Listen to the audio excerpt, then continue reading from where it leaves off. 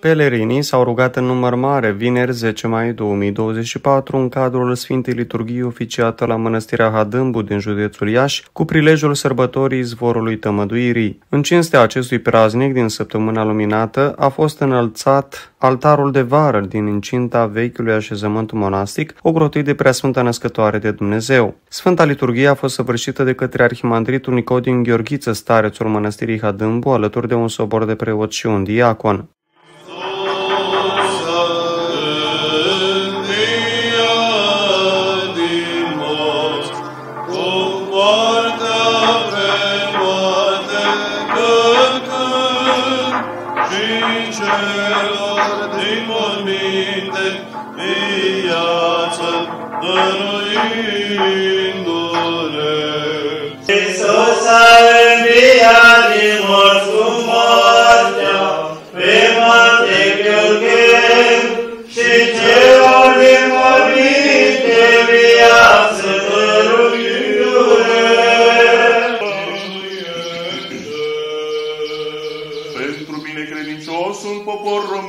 Român de aici de pretutindeni, pentru conducătorii țării noastre, pentru mai mari orașelor și ai satelor, și pentru iubitoarea de Hristos armată, Domnului să ne rugăm.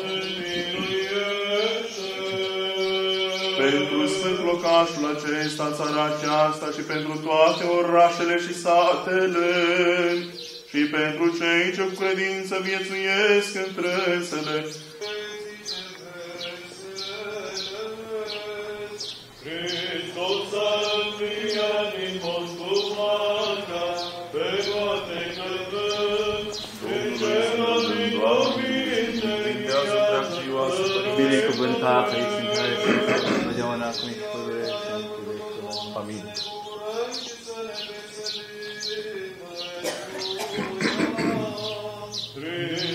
Hristos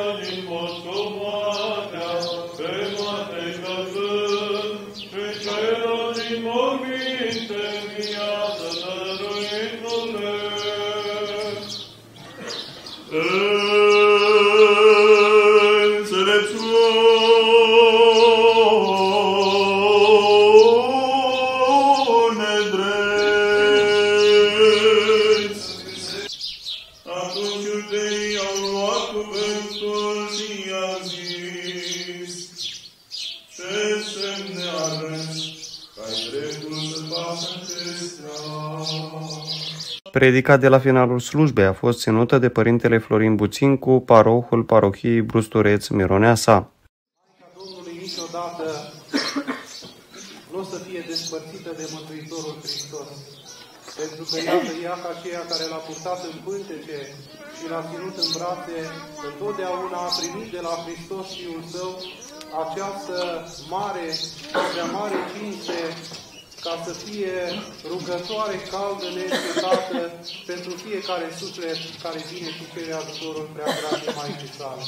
Mărturie a acestor vindecări și tămăduiri, să știți că stau cele două volume intitulate Minuni ale Maicii Domnului, ale icoanei făcătoare de minuni ale Maicii Domnului de la Mănăstirea Hadâmbu, care se găsesc aici în această Sfântă Mănăstire, la magazinul bisericesc, tocmai ca să vină ca mărturie și ca întărirea noastră a credinței noastre, a celor care au fost și sunt asemenea ca noi, oameni normali, care în viață au pătimit și pătimesc în continuare, dar care au venit cu credință aici la izvorul de viață dătător al Maicii lui Dumnezeu, la preacinstita Maica lui Dumnezeu și la icoana făcătoare de minuni, și cu credință și cu lacrimi în ochi, au cerut ajutorul și iată că Maica Domnului nu a întârziat să le răspundă și să le aducă răspuns bun rugăciunilor lor, fie că au fost tămăduiți de boli grele, incurabile, fie că au fost ajutați tinerii în examene și în toate celelalte lucruri pe care și le-au propus părinții a căror copii poate, iată, s-au despărțit de ei sau tinerii care vroiau și doreau să se căsătorească, toți au lăsat mărturie scrisă în aceste două volume pentru ca noi să ne întărim. În credință și să ne întărim în dragostea față de preacurată Maica lui Dumnezeu. Să întărească pe Dumnezeu și Maica Domnului în credința noastră dreaptă strămoșească, ca să nu părăsim pe Maica lui Dumnezeu și să credem până la sfârșitul vieții noastre, ca să ne fie rugătoare, fierbinte și mijlocitoare înaintea lui Hristos, În continuare s-a oficiat aghiazma mică din ziua izvorului tămăduirii, care cuprinde o rânduială specială. Binecuvântat este Dumnezeul nostru, totdeauna și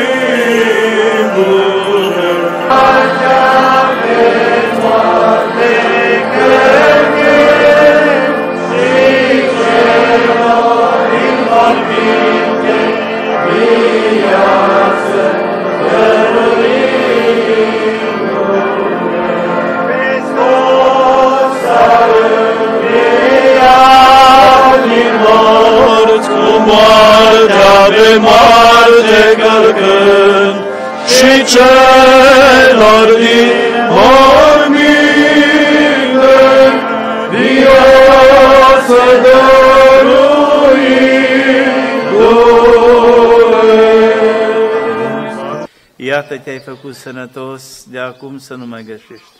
Încă și din tine ai făcut ochi sănătoși și poruncit să spele prin cuvânt, ai făcut să se rășuiască lumina, luminat ca zăpada din apă și din Duh. Și acum trimite Harul Preasfântul Bun de viață, Păcătorul Tău Duh, care sfințește toate și sfințește apa aceasta. Și acum trimite harul pe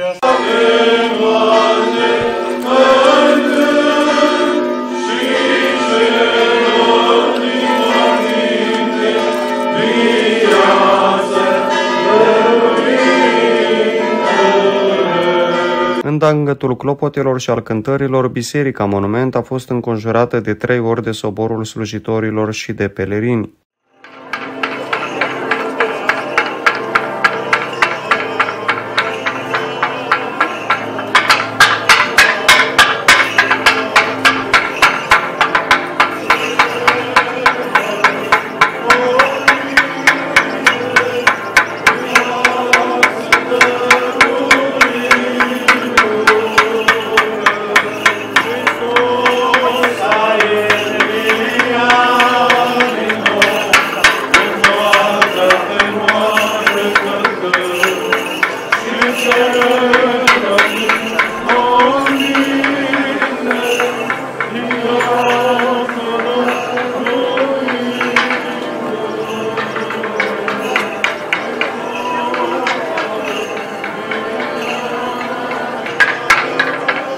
Arhimandritul Nicodim Gheorghiță a adresat câteva gânduri pelerinilor prezenți, cărora le-a mulțumit pentru că s-au rugat împreună. Și mulțumim Maicii Domnului pentru tot și toate. Mulțumesc Maicii Domnului pentru soborul de astăzi, părinții slujitori care ne-au bucurat, să spun așa, cu prezența de lucrători. Părinții sunt din uh, Basarabia, Părintele Nicolae, sub patriarhia noastră română, apoi Părintele Constantin Suceava Pitiera, nu încerc să spun câte ceva, Părintele Florin Lucienco din Comuna Mioneasa, Parachia Tustoviesc, Sfântul Parochii, și cei din părinți din noștri Sfinte noastre Mănăstire și, în ultimul rând, Părintele Arhidiacon eh, și Părintele Consilier Cultural al Episcopiei de Bălți sub patriarhia noastră, Mihai, care este de ce mănăstire din Comuna Mogoșești, ne face cinste să vorbim de acest Părinte Slujitor, deoarece slujește Episcopia de Bălți. Apoi, dumneavoastră, cei care sunteți flori din grădina Maicii Domnului, să vă bucure Maica Domnului, precum frățile voastre ne bucurați pe noi de fiecare dată, când sunteți prezenți la cină, la Sfânta Dumnezească Liturghie, mai cu seamă, astăzi într-o zi foarte importantă de altfel, pentru Sfânta noastră Mănăstire, unde majoritatea veniți an de an, Părintele Constantin și mai lipsește un părinte din Suceava, Dorin, care venea deseori cu autocar, dar știți că deseori sunt predici și încercări și multe ispite, dar să știți că adevărata credință bine totul și este prezent ca de obicei an de an aici. Împreună cu familia, cu copiii, cu licența doamna preoteasă, Părintii Constantin, de câțiva ani la acest strat și numai acest strat. Mulțumim, Preocucenți Părinte Constantin, vă mulțumesc, Preocucenți Părinte Nicolae, Preocucenți Părinte Torin, Preocucenți Părinte Arhidiacul Mihai și încă o dată mă plec în fața frăților voastre, mulțumindu-vă din suflet pentru prezența frăților voastre, că de fiecare dată înfrumusețați, de altfel, slujbele Sfinte noastre mănăstiri, nu doar cu prezența, ci se vede lucru cu trăirea, cu credința, cu rândul pe care va duce Preacurata Maica lui Dumnezeu. Iar să nu uităm că Măicuța Domnului este izvor de tămăduit orul de copii și în casa noastră, și în călătoria noastră. Cei care o cinstim, o îndrăgim și o iubim și o prețim cu adevărat, Măicuța Domnului este prezentă mai tot timpul în viața noastră. Bine ar fi să rosiți de fiecare dată ușa milosivirii deschide binecuvântată, născătoare Dumnezeu, ca să nu fericiți de Dumnezeu cu tine și să ne îndemne din nevoi că te și de neamul creștinesc. Și apoi o scurtă rugăciune foarte frumoasă pentru suflet și de suflet, cum ne învăța de stonicul schimonat, Părintele Serafim, Iisus e scump, ajută-mă, mai să scumpă, ajută-mă. Vreau să vă reamintesc că Maica Domnului am spus și o spune este pentru tine, dacă o iubim și o cinstim, dar își arată locul și darul în unele locuri, să spun mult mai mult. Sunt destule uh, mănăstiri, sunt destule biserici, unde Maica Domnului își are locul și își arată prezența prin a face mari minuni. Locul acesta a fost binecuvântat și la slăvit de Preacurata Maica Domnului, atâția ani de trecut, până, deși mănăstirea a fost părăsită și închisă, Maica Domnului, atât de frumos a binecuvântat acest loc, dar aș putea spune, l-a străluit atât de frumos, ca după Revoluție să mă trimite cu darul Harului Dumnezeu Rămân și Domnul să redeschid această frumoasă sfârșie, unde a devenit o prea frumoasă sfârșie, unde de altfel a fost o ruină, știm cu toții că a fost o ruină, bisericuța monument până la acoperiș, doar zidul și chiliuța unei anumit timp de un an de zi. Ați văzut cât de frumos Măicuța Domnului este prezent în viața noastră și de atunci și până astăzi mii și mii de peregrinți se derindă din țară, din afară, care nici am văzut la față spunându-ne ce minune a făcut Maica Domnului din Dealul Mare la Hatân cu ei. Alții ne-am în copii, din cu copilașii, se închină la Maica Domnului. Avem foarte mulți preoți, vlavioși, care, care vin din afară, pentru a se închina la icoana făcătoare din chiar de copii, sau părinte care a avut o boală pe cancer și s-a tămărit tot la icoana Maicii Domnului alți, mulți, mulți, mulți uh, din mila Domnului, a Măinicii Domnului, vom uh, scoate încă a treia, al treilea volum cu minunile întâmplate tămăduit la Icoana Făcătoare Mâini. Sunt două volume, îl vom scoate și al treilea, fiindcă toți bolnavi tămăduiți își dau ziua, data, pentru cei care se întoiesc, să spun așa, să creadă că Măinica Domnului vie în viața noastră și Măicuța noastră este pentru noi cei mai sfânt și mai sacru, precum mama noastră, cea care ne-a născut. De la ea cerem totul, totul până îmbătrânim. Tot mama este mamă pentru noi și chiar cum v-am spus odată, în ceasul morții un bătrân, atât de tare strigată cu mama lui,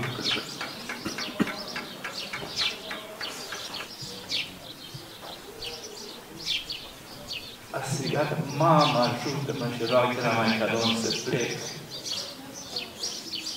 Liniștit. Să mă slogați, să mă slobozească Maica Domnului. Vedeți, la vârsta de 80 ani s-au stăgât cineva mama. Nu adevăr că mama e sacră, că mama rămâne.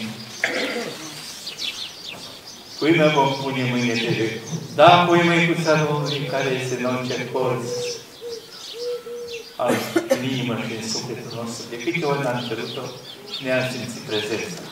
Așa că așa o cinstiți, așa o plăsiți prin prezența la cină, la Sfânta Dumnezească Liturghie și mai cu seamă la sărbătorile praznice împărătești, la toate praznice împărătești a Maicii Domnului. Rog pe Măicuța Domnului în această sfântă binecuvântată zi, să vă binecuvânteze și să vă numele Pașii care a spus doi, trei măcar până în grada mănăstirii, iar aghiasma de astăzi să fie de folos pentru sănătate, trupească, sufletească, unde de altfel frățile voastre veți strofi, atât case frățile voastre, grădinile frăților voastre. Bucurie Sfântă și vă mulțumesc din inimă încă o dată că existați în Sfântul Biserici și că ați venit. Pe cei mai în vârstă să îmbătrâniți frumos, cei care veniți după noi să veniți frumos, să aveți o frumoasă viață cumpătată și să nu uitați să-i mulțumiți zi, noapte, secundă, minut lui Dumnezeu milostivul pentru viață care este un dat de la Dumnezeu. Să-i mulțumim, fiindcă sunt alții, cât de mulți n-ar fi voit să fie astăzi prezenți cu frățile voastre, să se bucure să fie prezent la Sfânta Liturghie. Dar iată, nu numai de binecuvântate, ci de multă suferință, că există multă suferință pe fața Pământului. Ce mai spun când omul e sănătos? Vedeți că te doare puțin capul, mesești și cârtești foarte mult. Dar să ai ferească Dumnezeu cum sunt alții, țintiți la pat, paralizați, care vrea să meargă pe picioarele lor. Iată, din la Dumnezeu, încercări care noi cât avem sănătate, vă rog în numele mai Domnului, dacă vă spun eu, umplați cât mai de putere, că vine timpul, ceasul, cum scrie Sfânta Evanghelie, să nu ajungă ziua aceea când altul să vă încalce, să vă îmbrace, să vă întingă, să vă ducă unde nu vă este voia. Veniți pe care Dumnezeu de vă este voia. Că nu mai puteți, Măicuța scumpă vă primește ca Domnul care l-ați făcut și îl faceți precum și astăzi. Hristos a înviat! Hristos a înviat! Hristos a înviat! După ce au fost miruiți, oamenii au primit anafură și au luat aghiasma la casele lor. Amintim că în Duminica Tomei, la Mănăstirea Hadâmbus, se va săvârși după Sfânta Liturghie parastasul pentru viețuitorii mutați în lumea veșniciei, care odihnesc în cimitirul așezământului monastic.